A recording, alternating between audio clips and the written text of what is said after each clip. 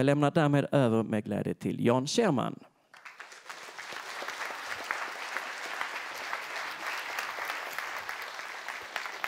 Tack så mycket. Hej allihop.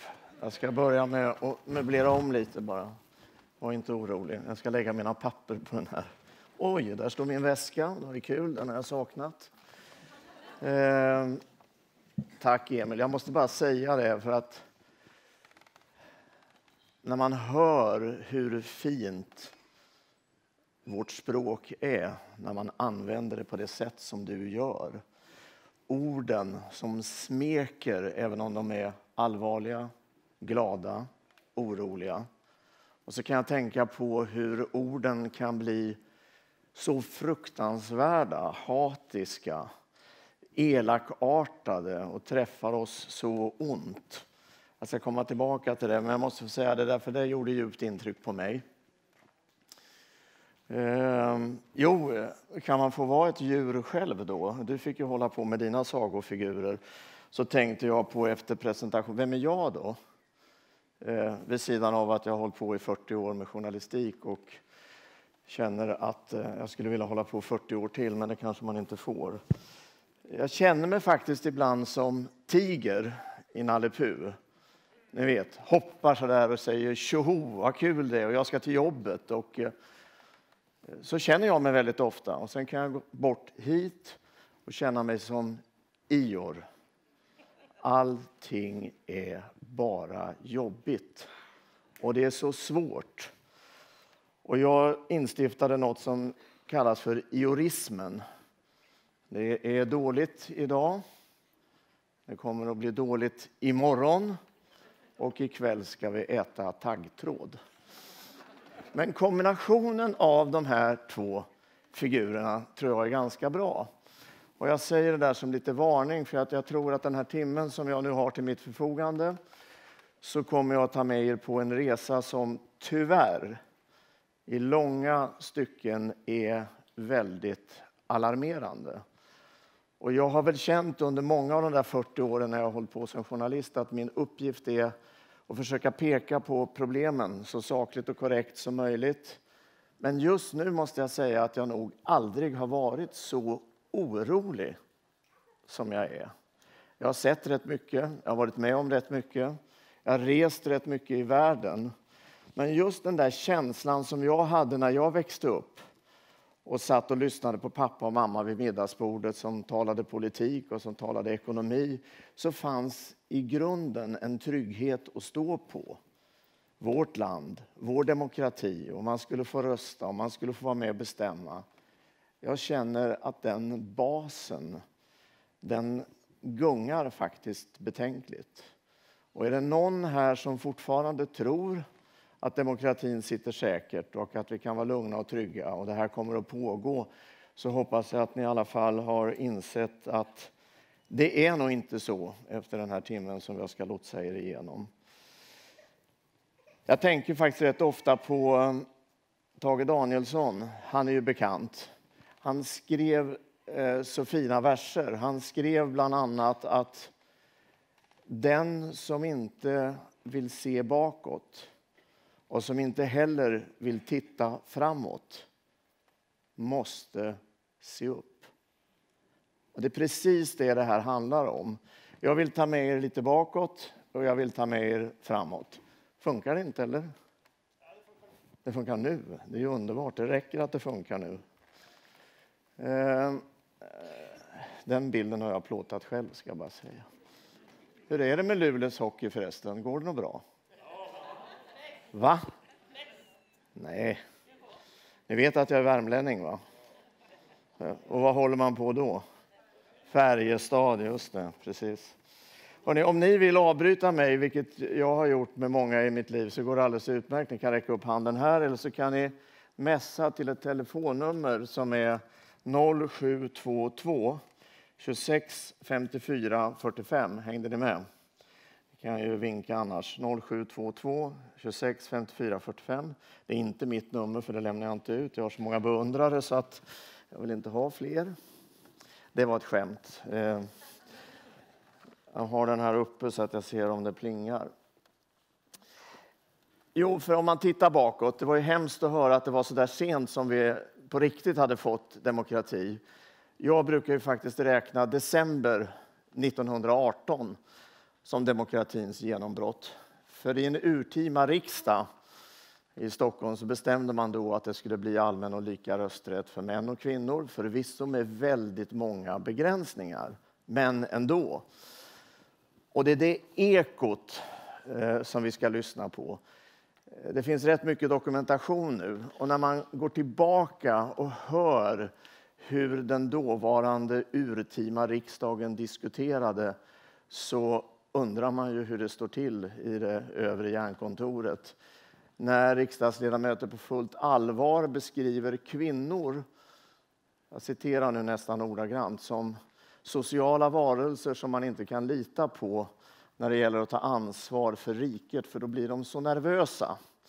Och då är det bättre att de får förbli på den plats på planeten där de fullgör sina kompetenser på bäst sätt, nämligen i hemmet. Och det är bara vissa som dessutom är så kompetenta och duktiga att de på riktigt kan få ta ansvar för samhället. Det där hör jag idag. Ropen på att de som vet mer, påstås veta mer eller veta bäst ska få ta hand om ett lands utveckling. Och vad är det för kunskaper? Är det inte en viktig kunskap att veta hur det är i Jokkmokk eller i Ystad? Kunna terrängen, människorna, landskapet, naturen. Är det bara kunskap i nationalekonomi som ska räknas? Men argument, argumenten går liksom igen. Va? Ehm, och det är det som skakar om lite grann i mitt inre. Jag har fortfarande inte börjat förresten, så att om ni undrar. Det här var bara förspelet, preludiet. Nu börjar jag. Det här är Västerviks skärgård en natt i somras. Och eh, det här tänkte jag prata om och det här är ju vi här. Va? Och eh, jag ska göra det här den här resan som kan bli väldigt eh, guppig, lite systematiskt. Jag skulle vilja prata om politikerna, de som vi har valt nu till Sveriges riksdag.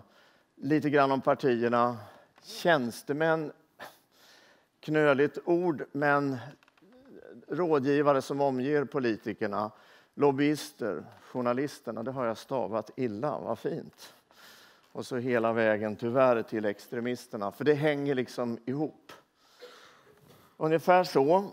Och som sagt, jag blir jätteledsen om ni inte avbryter mig.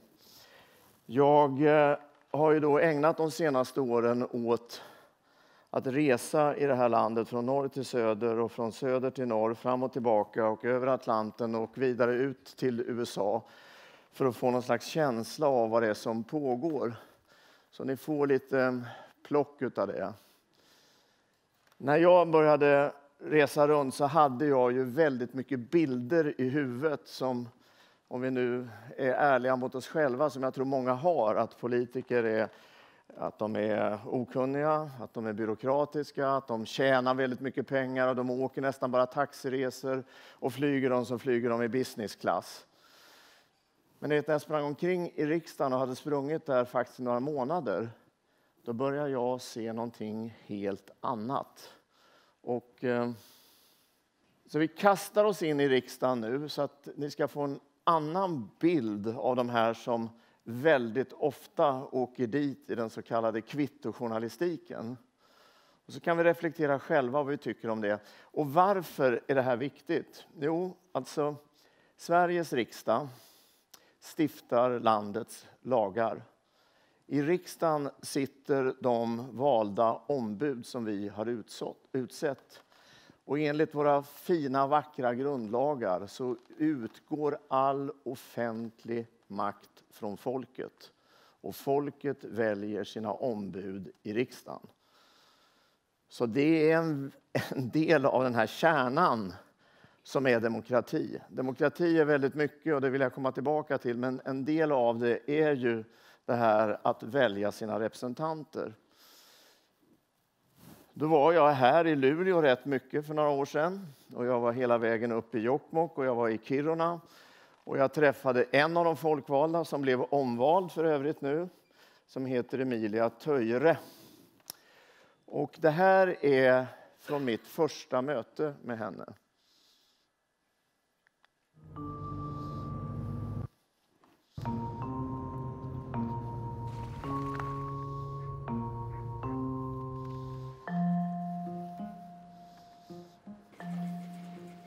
Ja, nu har du kommit Kiruna. Hur, hur känns det? Jag fick precis ett meddelande från SAS att nu kan du checka in på morgondagens flyg. Så att, och så är det ofta, så att jag precis kommer hem och så får jag ett meddelande om att eh, inom 24 timmar så ska jag iväg igen. Kan du inte berätta om den, den negativa sidan? Dels så är det ju delen med att eh, alltid vara en offentlig person, så att jag måste ju alltid vara någon typ av eh, förebild och att man har blickar på sig. Eh, dels att det är ett ganska hårt debattklimat eh, på speciellt sociala medier. Eh, märkligt nog, även sitt eget namn så kan folk skriva alltså, helt vidriga saker. Ehm, och det tycker jag är tufft.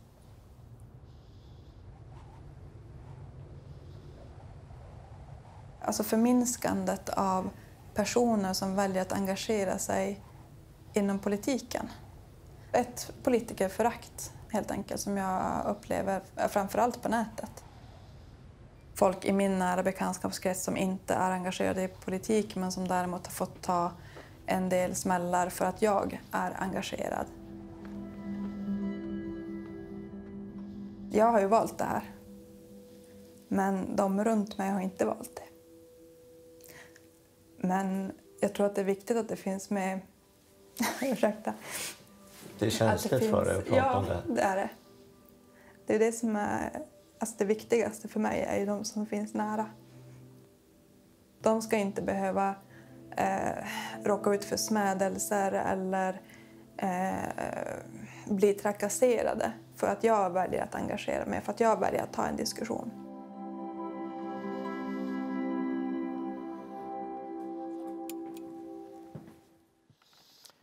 Stanna där ett ögonblick innan vi hälsar på nästa politiker. Det här var alltså mitt första möte med Emilia. Hon är ny i riksdagen. Hon har jobbat fackligt uppe i gruvan och går in för det här med liv och lust och en massa ambitioner. Hon hamnar i riksdagen, som det brukar heta, finaste utskott, konstitutionsutskottet och landar sen som eh, vice ledamot i utrikesutskottet och blir hotad och blir hatad, då är orden inte vackra längre. Då är orden väldigt aggressiva och de är väldigt ofta anonyma. Det här är inget undantag på något enda sätt. Jag vet inte om ni tänkte på det när eh, Ulf Kristersson röstades ner som tänkbar statsminister och Jan Björklund står i talarstolen i riksdagen och mitt i sin argumentation kring varför han inte tänker rösta på Jan Björklund så berättar han väldigt kort att han aldrig någonsin under sitt politiska liv har blivit så hotad och hatad som just nu. Det slår sönder demokratin. Det gör människor rädda, det skapar självcensur och man vågar inte kliva fram. Jag ska ta ett löjligt exempel kan ni tycka. Jag brukar säga att om man har allvarliga ämnen och inte någon skrattar så är det en ganska dålig föreställning. Men hur många prenumererar fortfarande på tidningen Fantomen här inne? Ja, lite skratt i alla fall. Det är svårt att hänga med. Inte någon mer än jag själv. För i somras så var det så att Fantomen ryckte ut mot ett land som förmodligen skulle kunna kallas för Ungern och eh, skyddade en Pridefestival som skulle äga rum i Budapests gator. Jo, men när jag växte upp på 70-talet så då tog Fantomen pappaledigt och skapade kooperativ i Ungern. Och det var inget särskilt med det. Men vet ni vad som hände när det här numret hade publicerats? Chefredaktören han får stänga av sin mejl för att han blir så bombarderad med hat chefredaktören för tidningen Fantomen. Alltså det är helt osannolikt tycker jag. Och här sitter en nybliven riksdagsledamot och tappar koncepterna framför kameran därför att det känns så hårt. Tänk på detta. Då hoppar vi till Göteborg, i förorten där en ung kille kryssade sig in på Liberalernas lista. Han heter Robert Hanna. Och han berättade för mig en annan del av verkligheten för de här så otroligt viktiga politikerna. Om jag åker ut till Hjällbo idag och pratar med ungdomarna där så kommer de med stor sannolikhet känna någon som åker och strider för Isis. Men de känner inte någon som är politiker.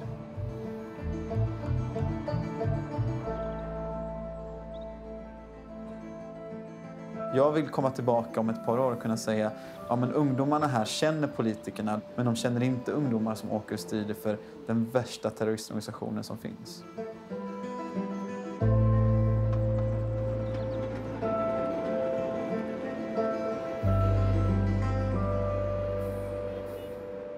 När jag klev in här och träffade dig och andra första gången, då hade jag en bild av riksdagspolitiker som åker gräddfil, som har bra betalt och eh, som kanske inte jobbar särskilt hårt heller. Mm.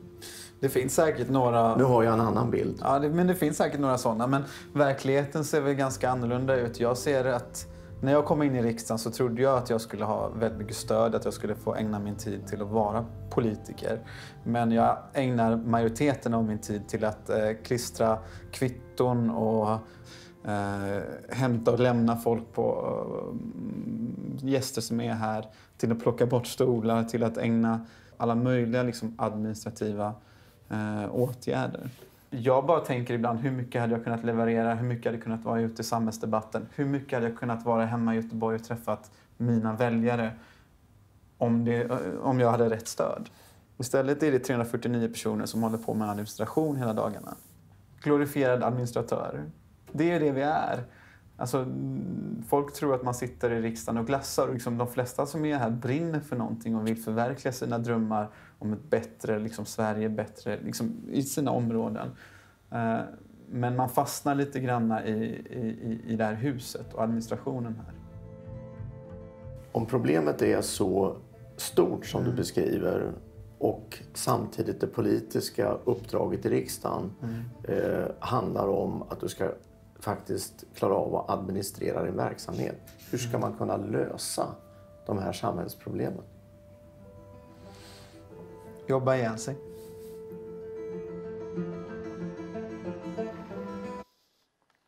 Mm.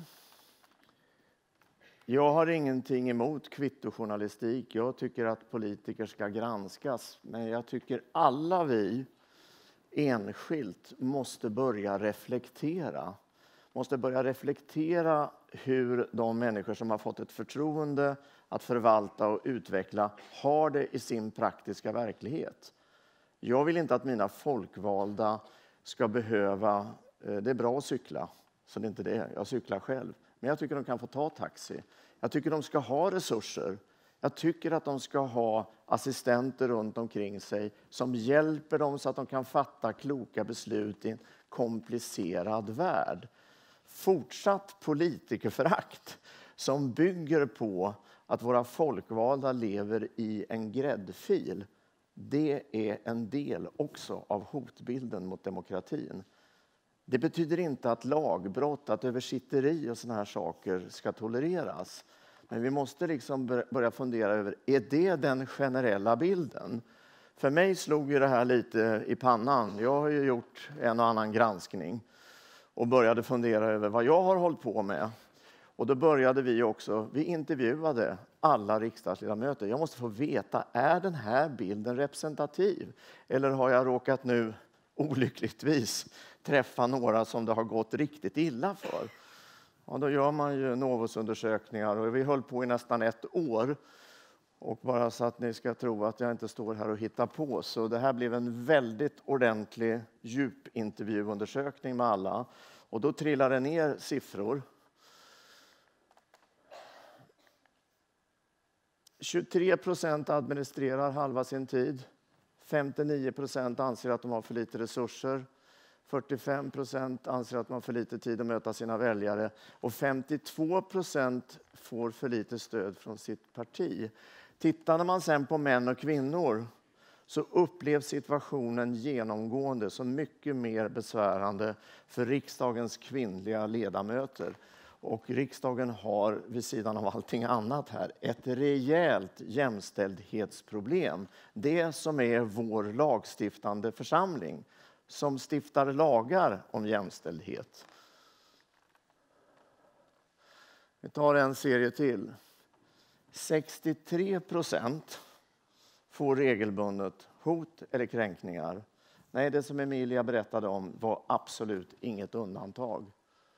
Och då är det precis samma sak, och då tog jag ut siffrorna så att ni verkligen ser vilken skillnad det är. En kvinnlig ledamot som blir eh, trakasserad upplever det mycket mer besvärande än manliga kollegor.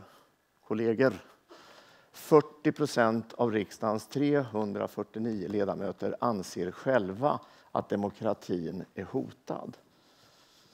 Alltså, vi har ett helt annat bekymmer, förlåt Aftonbladet och alla andra, än kvittojournalistiken och vad den upptäcker. Vi har, brukade jag säga efter det här, en dysfunktionell riksdag, det vill säga en riksdag som haltar och som inte riktigt klarar av att gå. Och det finns så många detaljer i det här som jag skulle kunna då förlänga och förtråkiga den här föreställningen med. Men ni vet, vi har lagar och regler i landet som innebär att partierna får pengar via skattsedeln. Eh, och det betyder också att det ska koka ner ungefär motsvarande en heltidstjänst per riksdagsledamot. Det där jag sa, stöd, hjälp i arbetet. Istället för att skriva reseräkningar och klistra kvitton få utöva sitt politiska uppdrag. Men de pengarna når inte ner till riksdagsledamöterna utan de fastnar i partitopparna och används i lång utsträckning till att anställa pressekreterare eller kommunikatörer. Det här har statliga utredningar sett, men det händer ingenting. Den debatten tycker jag är mycket viktigare. Se till att våra politiker som kämpar och sliter i 99 fall av 100 får förutsättningar att klara sitt jobb på ett rimligt sätt. Okej. Okay. Det är ingen som har somnat än i alla fall. Känns det bra? Ni känner er som Tiger eller som Ior? Ja, det var en svår fråga. Vi hoppar lite mitt emellan. Va? Nu ska vi gå till ett då kanske känsligare ämne. Det sitter säkert några tjänstemän här. Eh, det sitter säkert några här som jobbar i politiska verksamheter men som inte är valda. Eh, och det finns en hel lång eh, rad av personer eh, som sysslar med det. Går man tillbaka, jag är då en gammal person, om jag går tillbaka till 50-60-talet när det fanns över 2000 kommuner i Sverige. Sen kom ju alla kommunreformerna.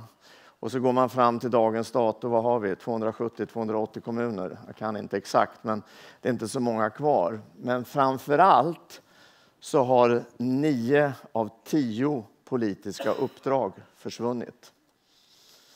Och då är det klart, då kan man säga, då växer det andra saker runt omkring politiken för att politiken ska klara sig. Det här är ju överhuvudtaget inte reglerat i våra grundlagar, hur man ska utkräva ansvar av de som inte är valda, men som ändå påverkar och har inflytande. Och eh, även det här började jag djupa i ordentligt. Och jag vet inte hur många som har hört talas om vad en talepunkt är. Jodå, det känner vi till. Det är någon som har skrivit, jag har inga talepunkter för det här föredraget kan jag säga, jag kör min egen skridskoåkning. Men rätt ofta i politiken så skriver man till politikern att man ska säga det här och det här. Va? Det finns en väldigt berömd Bosse Ringholm presskonferens för många, många år sedan när Inga-Britta Alenius hade fått sparken. Eh, och han hela tiden säger 10 eller 15 gånger, Inga-Britt Alenius är en mycket kompetent person. Och sen när han har sagt det 15 gånger så blir det liksom inget bra. Men eftersom det stod där förmodligen i talepunkten så läser man upp den hela tiden. Jag stod och lyssnade en gång på Stefan Löfven i riksdagskorridorerna, presskonferens. Och eh, det är den här vanliga leken, vem ska ta vem? Eh, det var den förra regeringen. Så att, och då säger Stefan Löfven en gång, min dörr är öppen.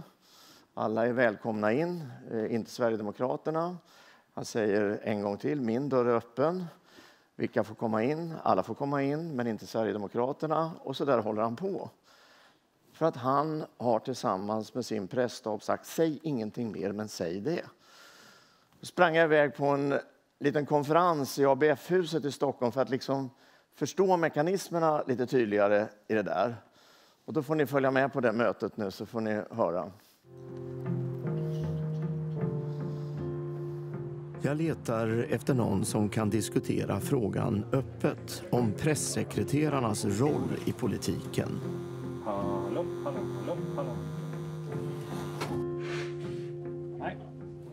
Ulrika Schenström var tidigare moderatledaren Fredrik Reinfeldts närmaste rådgivare.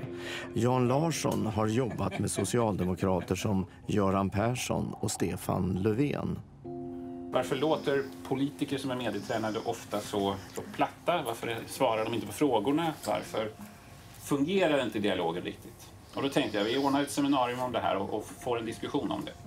Jag har hållit på med politik som politisk sakkunnig åt Göran Persson på Finansdepartementet. Då fick jag skriva talepunkter åt Göran, men också åt Mona Sahlin och Ingvar Carlsson och hela regeringen. Men när jag kom tillbaka till politiken så kom jag till en organisation som jag upplevde var mycket ängsligare än den jag hade lämnat. Talepunkterna hade gått från att vara en idé, en första tanke, till att den var fem rader lång och det var bara tyska instuckna bisatser. Så jag fick läsa den fyra gånger för att förstå vad, vad, vad det var jag läste. Och så men snälla, jag kan fan inte säga det här. Jo, du måste säga det här. Ja, men ett, det går inte att begripa. Två, det är fan inte vad som står i partiprogrammet. Va? Och det där tror jag att vi måste se upp med. Därför att tappar vi vi som älskar politik och vi som älskar demokrati, eller ni som håller på med demokrati, politik och demokrati, tappar ni kontakten, kärleksrelationen med väljarna, ja men då kommer de att gå till någon annan. Och det är just det som sker just nu. Känner du igen dig i beskrivningen? Ja, i allt. Politik måste börja bli politik igen.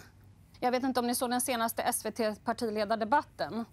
Eh, den, den var ju helt horribel att titta på. Därför det var liksom maskiner som pratade med någon annan maskin. Det var så här, Moderaternas partiledning pratar nu med Socialdemokraternas partiledning och talepunkterna är, och när han säger så, då ska jag, just det, då ska jag säga den. Eh, vi har en fråga till här. Peter Persson, riksdagsledamot för Socialdemokraterna. Alltså jag tror att ett av problemen är att kommunikatörerna likt Egyptens gräshoppor har intagit landet och skickat idépolitiker ut på tippen.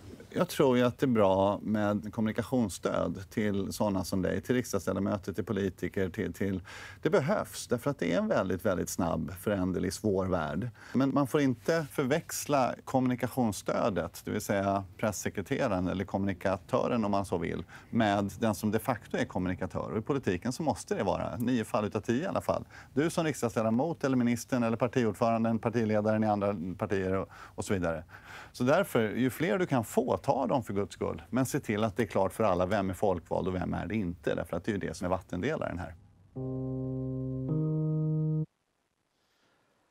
Ja, ni fnissar lite va? Man känner ju igen det här. Alltså, jag, jag, säger inte att allting var bättre förr, men jag kommer ihåg den där tiden när jag kunde ta telefonen, alltså den där bakelitgrejen då, och eh, slå numret till Rune Bagan Johansson i Alvesta han var industriminister. Man kunde ringa direkt. Och det funkar ju naturligtvis inte. Men det funkar ju inte heller när jag springer omkring och ska träffa riksdagsledamöter så möter jag en mur och en hord av kommunikatörer som står i vägen. För att det är klart att hur reagerar politiker i det mediala högtryck som vi ständigt befinner oss i? Jo, då kommer ju det här ordet riskminimering. Det finns ju, apropå dina fina ord, Emil, så finns det många andra konstiga plastiska ord. Då säger jag helst ingenting, så jag i alla fall inte tagit någon risk. Och ibland är det ju så att inte göra någonting skapar så småningom och inte säga någonting skapar ju så småningom ännu större problem. Det finns en berömd, eller en numera klassisk scen på nätet när Donald Trump eh, åker iväg på någon resa, man tror att han ska tappa peruken, in i planet och så landar han på ett eh, partimöte och hälsar alla välkomna och säger det är många som vill snacka med mig eh, one to one, eh, fysiskt möte, vi pratar med varandra. Men nu har några skrivit eh, två papper här till mig och så håller han upp de här två papperna vad jag ska säga på det här mötet. Men det här är ju så jävla tråkigt. Och så slänger han ut dem. Så vi pratar väl med varandra direkt. Jag tycker det är sorgligt att en person som Donald Trump kan bryta igenom bara att han gör det där jävligt enkla, förlåt att jag svär, nämligen pratar så som vi brukar prata med varandra. Och visst, jag har sagt en massa dumma saker och då kan man ju be om ursäkt istället för att inte säga någonting.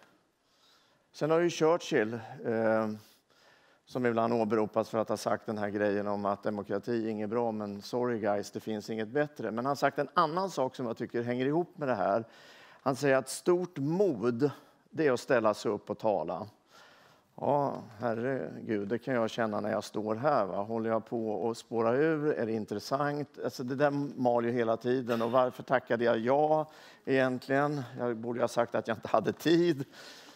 Men ännu större mod det är att lyssna.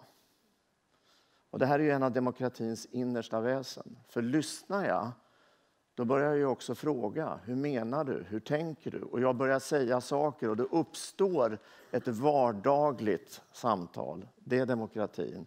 Vi ska ju inte låta Donald Trump och andra ta hem den enkla matchen. Va?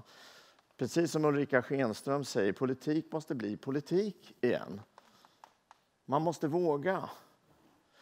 Och jag började räkna, bara så att ni ska få lite mer kött på benen. Hur många tjänstemän i de politiska systemen finns det idag? Ja, enligt professor Bo Rothstein, professor i statsvetenskap, så finns det ungefär... Ser du någonting? Ja, men mannen ifrån Boden bakom dig. Ja. ja. Jag läser för dig nu. 3500, det är tio parlament av sakkunniga och rådgivare, varav 450, det är mer än en riksdag, sysslar inte med egentligen vad vi ska säga ur ett ideologiskt perspektiv, utan hur. Hur det här liksom kemiskt, tekniskt, praktiskt ska ta sig igenom. Det känns så där tycker jag. Och när jag frågar då riksdagspolitikerna så säger var fjärde att pressekreterarna har fått makt. Men jag har inte röstat på någon pressekreterare. Jag har ju röstat på parti och politiker. Och vem ska utkräva ansvaret? Det hänger i luften. Och så alla lobbyisterna, de som påverkar för dyra konsultpengar. Det finns en branschorganisation för kommunikatörer i Sverige och de räknar man med har ungefär 8 000 medlemmar. Det kan vara 1000 till som inte är organiserade. Avrundar det uppåt så finns det ett fotfolk på 10 000 personer som ägnar sig åt att påverka politiska beslut under offentligheten. Nu börjar vi få rätt många hot mot demokratin. Det första jag pratade om handlade om hur riksdagspolitikerna mår, går och står och hur de har det på sitt jobb. Och så pratar vi nu om tjänstemännen som påverkar mer och mer. Och det här är liksom ingen svartlistning av en yrkeskår, så att ni måste missförstå mig rätt. Jag tycker bara att det måste upp i det synbara ljuset. Politiker behöver stöd av experter. Men det finns en massa sorgliga exempel på där det inte har kunnat gå att utkräva ansvar. Den stora E.ON-affären för miljarders miljarder där visade det sig att det är på sakkunnig icke-politisk nivå som det har tagits beslut om färdriktning som har blivit förödande. Det gäller en del vapenaffärer också. Så det här är liksom inte bara teoretiskt tomprat utan det är hård politisk vardagsvara som blir påverkad. Är det någon, någon som har en fråga? Nej. Jo, titta! Nu får du skrika högt. Jag ska bara fråga,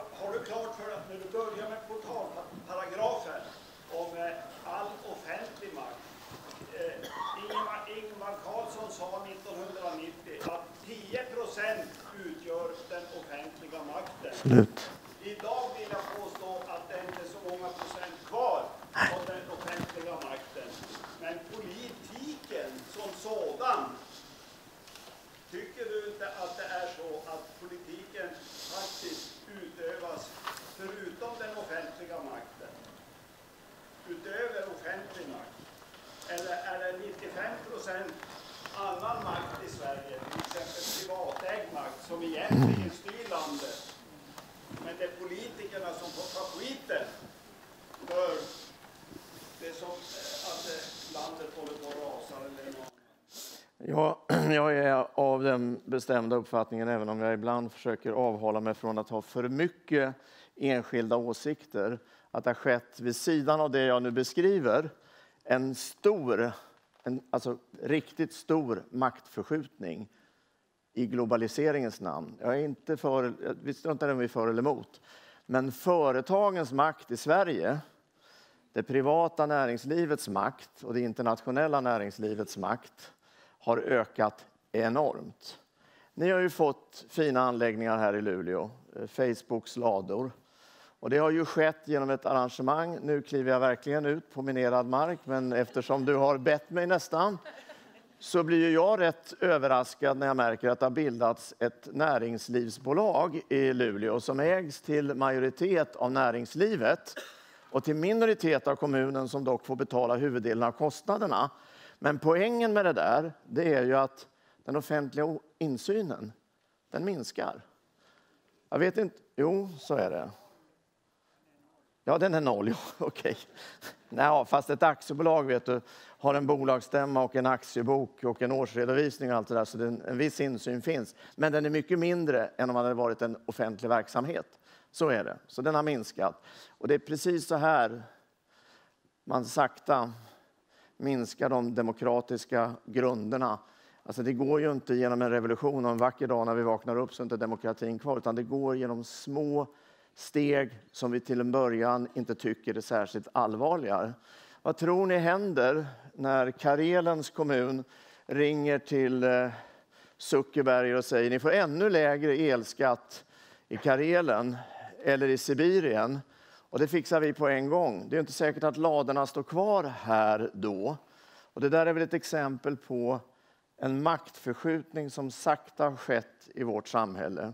Jag har varit med och bevakat, jag ska bara se så jag inte sladdar ur med tiden, men det är lugnt fortfarande. En timme är ju otroligt mycket tid alltså.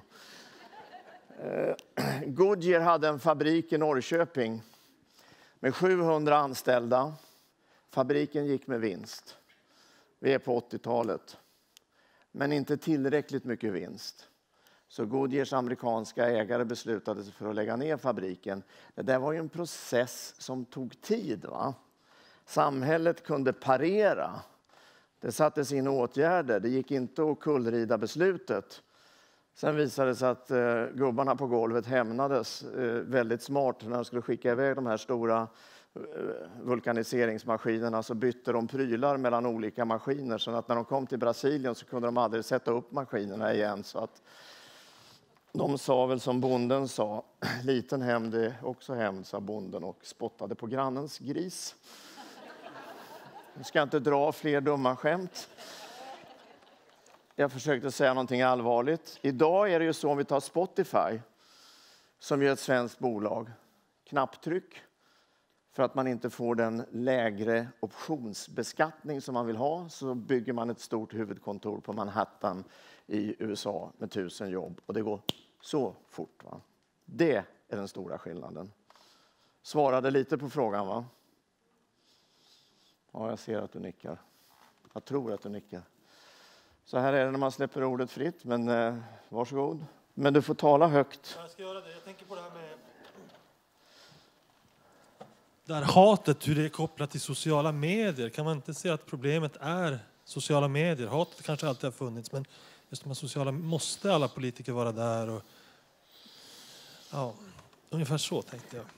Kan jag, få, kan, jag, kan jag få komma till den? För jag ska prata lite mer ordentligt om sociala medier mot slutet. Eh, jag tycker den är också lite mer komplicerad. Den är både en möjlighet, men den är också ett väldigt stort hot. Va? Jag kommer inte att glömma bort det, jag lovar. Hörrni, vi vandrar vidare.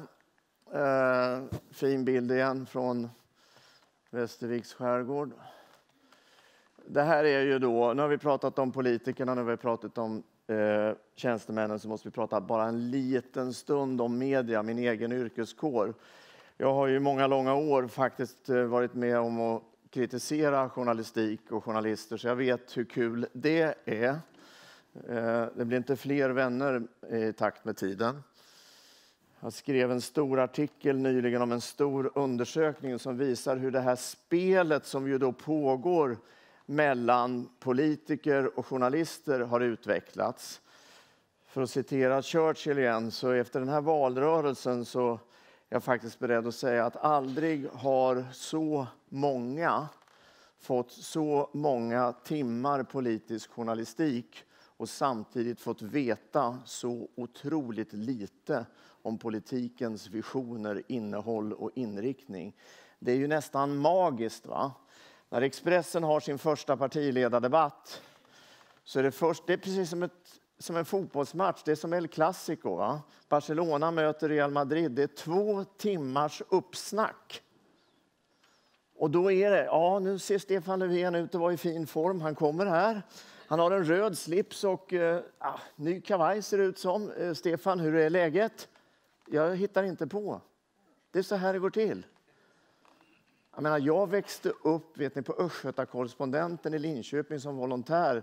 Blir inkallad till chefredaktören som spänner ögonen i mig och säger Skärman, tänk på att när du skriver, var korrekt. Visst, absolut. Jo, han hade en fin slips. Och, Ja, sen kommer själva matchen. Hur går det till?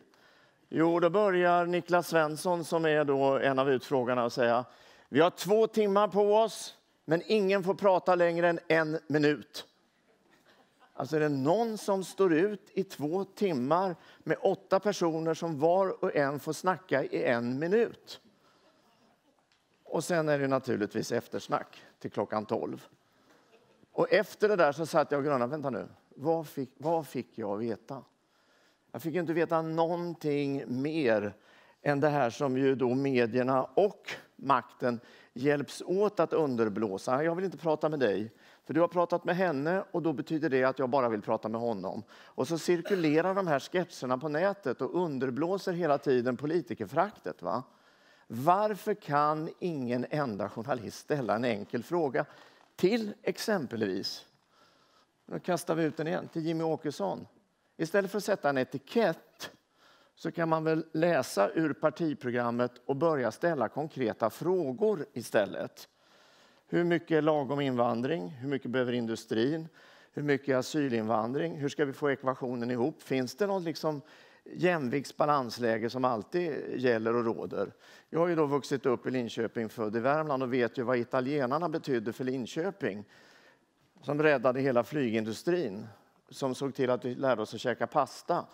Men alltså ingen vågar överhuvudtaget ta upp de här enkla frågorna.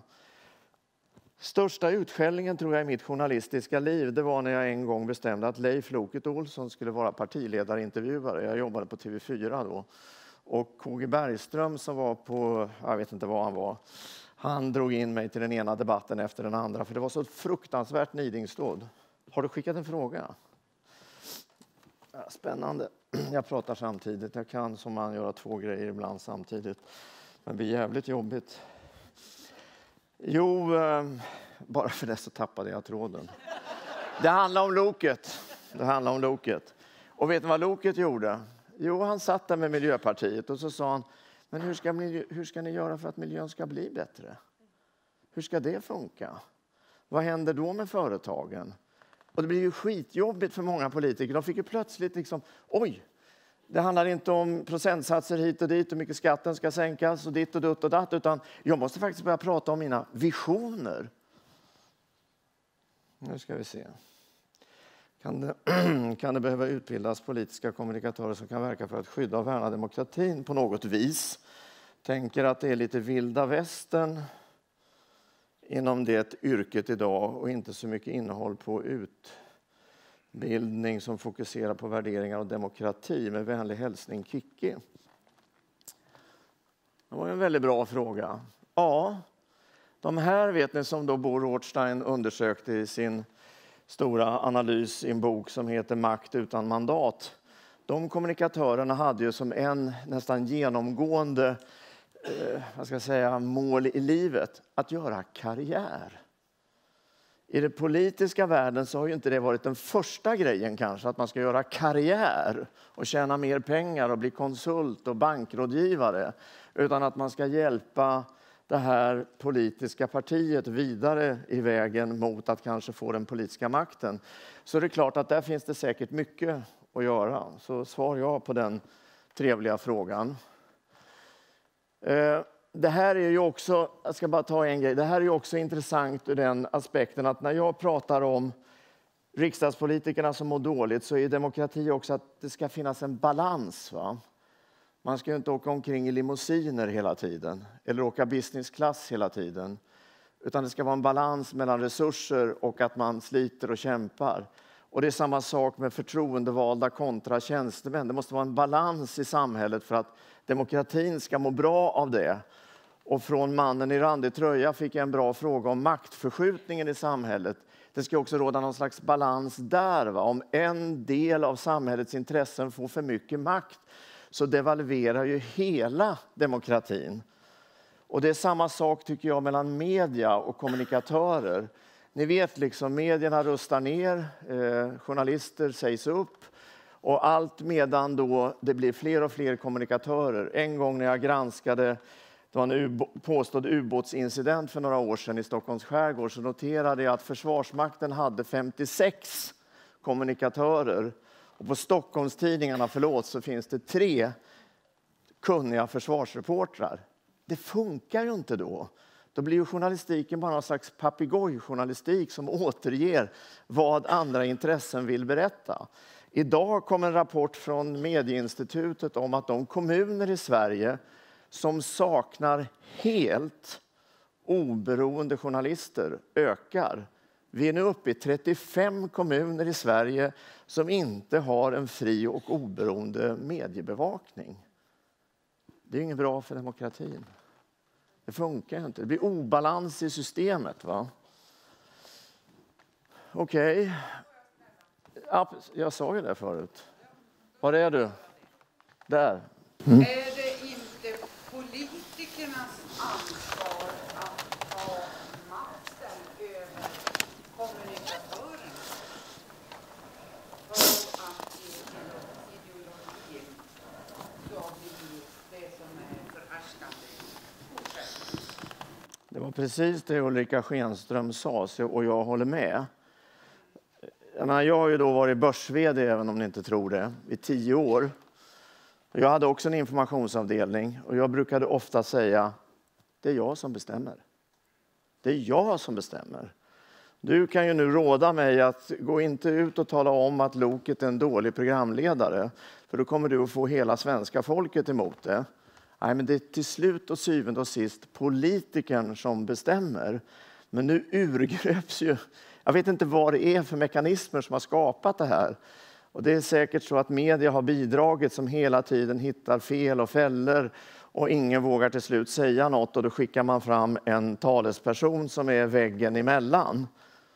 måste bryta den modellen. Men jag tror faktiskt, även om det är hårt att säga, jag tror vi behöver fler modiga politiker. Och det är skönt om inte alla de heter Donald Trump utan att de heter någonting annat som vågar på ett seriöst och anständigt sätt återta kontrollen över de politiska visionerna, eller jag ska uttrycka det. Så jag håller verkligen med dig. Men det, det, det är liksom... Jag vet inte vad jag ska säga mer än att vi får försöka bidra själva också. Var och en sitter ju på ett jobb eller sitter i en kommun eller har ett förtroendeuppdrag och kan ju utifrån sin utgångspunkt också säga ifrån. Jag har sagt det många gånger att de stora avgörande frågorna de avgörs ju förvisso då i globaliseringens värld och sådär, va? men de avgörs ju hemma vid köksbordet eller vid fikabordet på jobbet eller på fredagsfesten. Och säger man inte ifrån där, det är ju då den värsta formen, förlåt, av terrorism inträder, nämligen anpassningen. Vi förflyttar oss oförmärkt åt ett håll utan att vi själva egentligen är medvetna om det. Och det är då det där händer, att en vacker dag så ser det lite annorlunda ut. För första gången under den här timmen så måste jag raska på lite. Vi är inne i sista perioden. Luleå ligger under mot Färjestad. Ah, ni kan ju bara ta det här till er, men det här är ju en del av problematiken. Va? När jag sa att det fanns väldigt många mer fritidspolitiker och förtroendevalda tidigare. Det finns ungefär 250 000 partimedlemmar totalt i Sverige. Jo, Sverigedemokraterna ökar och några till säger att de ökar. Men det där är lika många som en helg tittar på helgmålsringning på SVT. Det är inte tillräckligt. Och jag som är gammal gillar äldre och vår kompetens. Men det är fel demografisk struktur på de där 250 000. Det är för många som är för gamla och för få som är unga. Partierna har gjort sig helt av med medlemsberoendet. De fixar sin ekonomi. Ni vet, partimedlemmarnas bidrag till partikassorna det är en futtig liten procent. Den kan man klara sig utan. Och det är ju inget bra, för då minskar legitimiteten för partierna och närheten mellan väljare och valda. När jag djupdyker det här så ser jag också att partierna håller ju nu på att bli som företag. Regler, instruktioner, lojalitetskontrakt. När du ska skriva en motion i riksdagen så finns det regler för hur du får göra. Det spelar ingen roll om det är Moderaterna, om det är SD eller S. Det ser nästan likadant ut överallt. Det är en professionalisering som inte håller. Den går emot hela tidens tand och utveckling. Va? Och det är då jag kommer tillbaka, jag har inte glömt dig, till det här med Facebook och Youtube. Jag lider ju själv av det. Jag blir ju kallad både det ena och det andra titt som tätt. Och jag brukar rätt ofta svara. Det är ganska intressant. Det är väldigt få som då bankar på ännu mer. Senast var det någon som skrev någonting i stil med att jag var en eländig skithög. Eh, och eh, då svarar jag hej, tack för ditt inlägg. Ehm, vi känner inte varann. Jag blir faktiskt lite ledsen när du kallar mig så.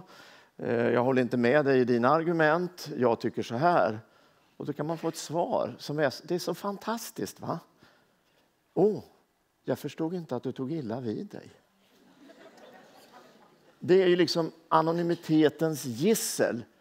Jag ser inte dig, alltså kan jag kalla dig skithög. Men om jag nu tittar på dig, det är du i tröjan där. Hej.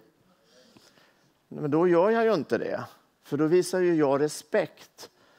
Nätet har satt en hinna som är väldigt obehaglig och här hävdar jag, var och en har ett ansvar. Det är inte bara knäppjökarna som beter sig.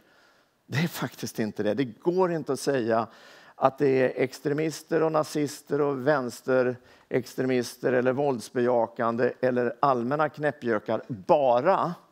Det är rätt många andra som faller in i det här tonläget. Jag kan till och med läsa i kolumner i tidningar att, vi kan ta akademidebatten, alltså, vad man nu än tycker om Horace Engdahl så kan man väl inte skriva om man är kulturchef på Dagens Nyheter att han påminner om ett svin. Alltså, jag tycker inte det funkar.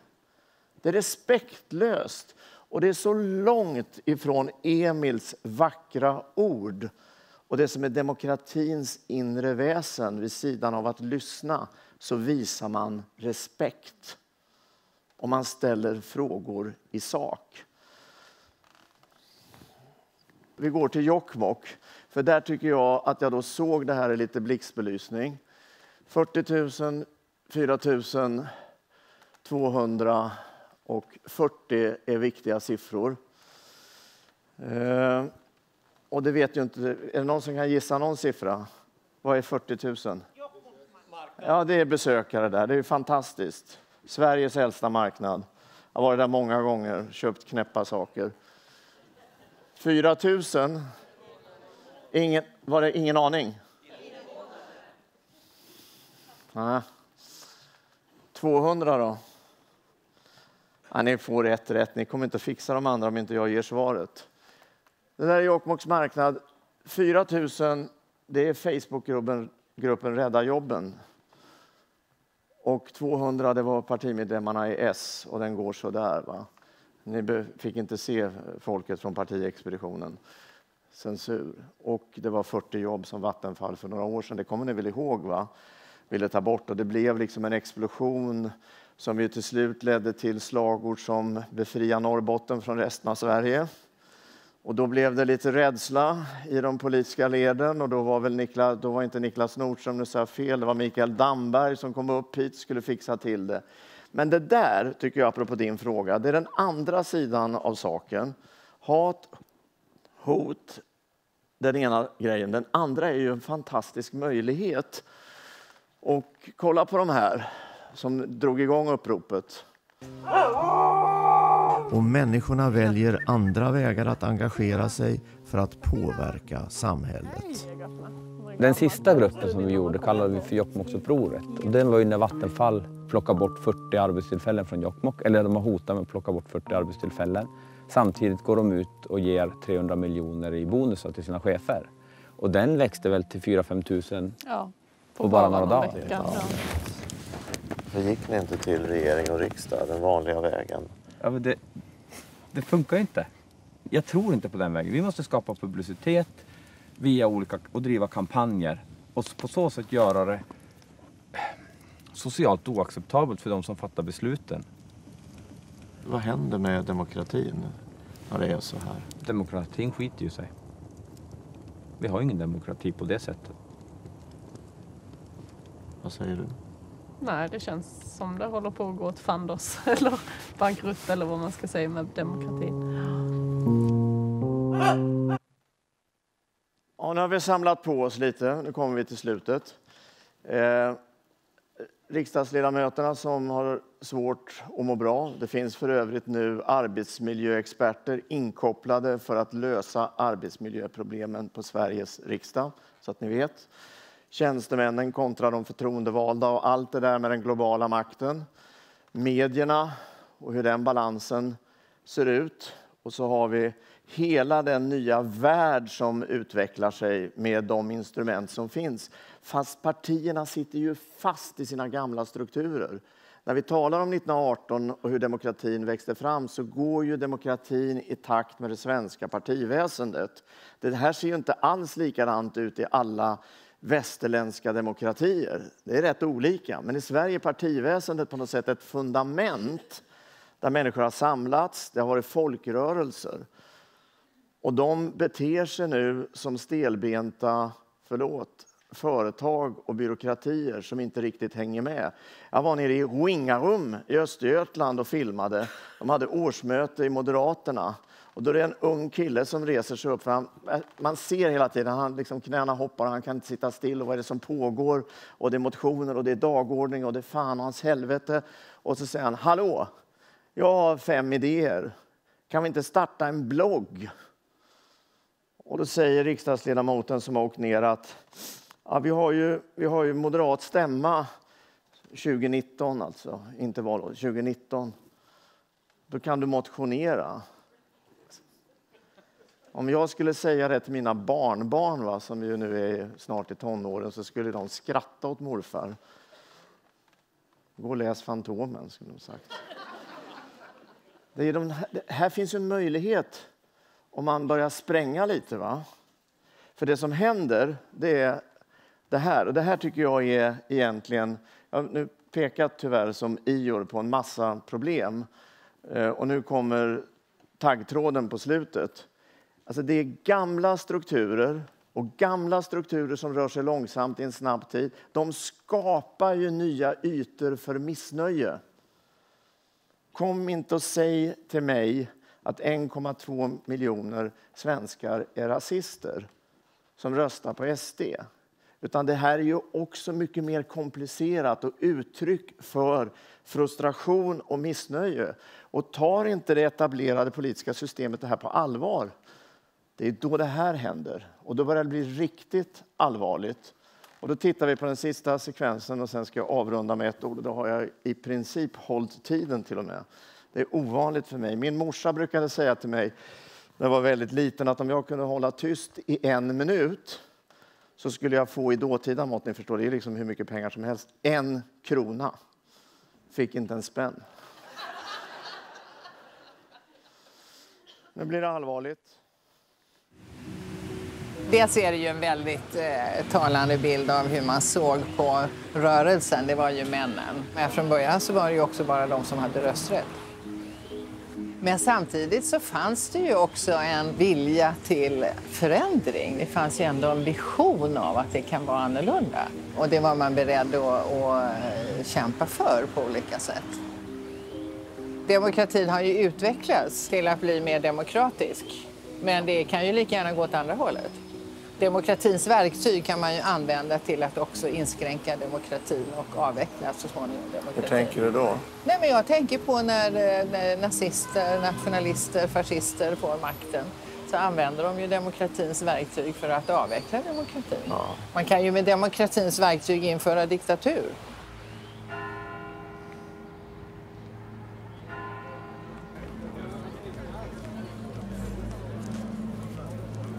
Idag är det Nordiska motståndsrörelsens dag i Almedalen. En manifestation för kärlek och alla människors unika och lika värde.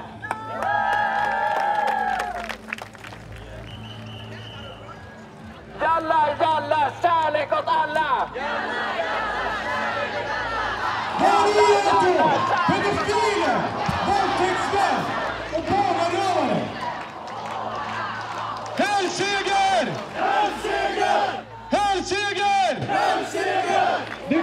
vita kärnfamiljen är framtiden. Tjena, Janne heter jag. Eh, får jag ställa några frågor? Ni som dröjer kvar här, kom fram och diskutera med oss. Prata om sund kärnfamiljspolitik. jobb för Sveriges Television, demokrati. Ta reda på vad det är som bygger samhället. kan väl svara på en fråga? Inte till en äcklig jude. Vad är det du säger? Inte till en äcklig jude. Hur menar du nu? Hur jag menar? Ja. En äcklig jude, hur fan kan du misstolka det? Vad gör du här? Jag försöker ställa en fråga. Ja, ställ den till mig då. Ja, jag ville veta hur ni ser på demokratin. Ja, vi ser på att demokrati bör innehålla folkstyre. Hur är det med rösträtten? Ska alla få rösta? Klart att vi, alla medborgare ska få rösta. Medborgarna i fria Norden kommer ju inkludera etniska nordbor främst. Och vilka är det? Ja, det... Jag förstår inte frågan. Jo, min hustru är av vallonsk börd. Ja. De flyttade hit på 1500-talet. Jo. Är det, var, var hamnar de? Det är nog inga problem med henne, förutom att hon är gift med dig. Då. Men jag är ju född här och min pappa är född här och min mamma du tillhör ju inte det nordiska folket, va? för att Ja, du, du är väl sionist och judisk, eller hur? jag har en judisk pappa Ja. och jag har en svensk mamma. Och Israel har ju väldigt hårda raslagar. Ja, men så- Israel har jag aldrig bott i. Jag har ingenting med Israel att Nej. göra. Jag är inte sionist. Nej. Men kom igen nu, vilka ska få finnas i det här landet? Hur långt tillbaka måste man ha varit här? Ja, vi har ju till och med den regeln alltså att eh, vi ska se över de som har kommit efter 1975. Och det är mycket möjligt att du kanske får stanna här i det fria Norden. Tack. Ja.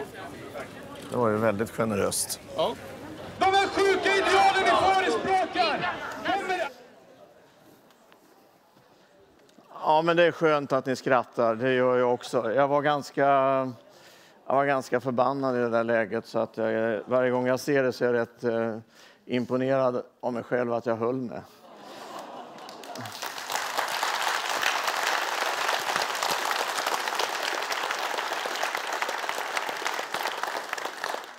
Men vi ska inte sluta här i mål riktigt. Jag tar en minuts eh, övertid. Eh, det är rött kort på det här så det tar lite tid och så blir det en minuts förlängning. Jo, eh, två kommentarer bara. Det är det här jag menar med farligheten i anpassning. Här begås en massa lagbrott. Och jag kan bli otroligt förtvivlad över att polisen som väldigt ofta gör ett bra jobb, det är inget snack om saken. Det är lite grann som en hal tvål som man inte får tag i. Man får inte stå och säga hellseger. Det är förbjudet. Eh, förra, alltså I somras så misshandlades eh, tre personer och det är liksom så uppenbart. Man ser hur de river sönder prideflaggor och det händer ingenting. Och då har polisen sagt att de kan inte och de får inte och, och någon har läst lagen som fan läser Bibeln. Och det är därför jag också blir lite nervös när politiker börjar prata om nu ska vi ändra grundlagar och dona och greja. Vänt, vänt, vänt, vänta nu med det, var lite försiktig här. Va? Använd de lagar vi har till att börja med. Och så måste vi stå upp. I somras var det många som sa vi åker inte till Gotland igen för det är så otroligt trist.